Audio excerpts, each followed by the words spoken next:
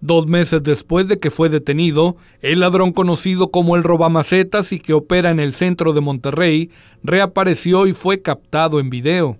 El hombre, identificado como Héctor, de 43 años, fue grabado a principios de septiembre robando un burro de estacionamiento en la calle Porfirio Díaz. Héctor es el dolor de cabeza de muchos vecinos debido a su gusto por hurtar macetas con plantas, las cuales presuntamente vende para subsistir. Los habitantes de la zona centro se empezaron a quejar otra vez del delincuente al notar de nueva cuenta la desaparición de sus plantas.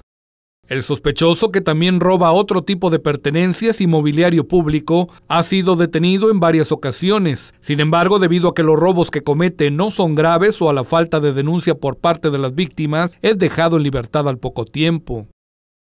La última detención de esta persona fue a principios de julio, cuando los ministeriales lo detuvieron en posesión de droga.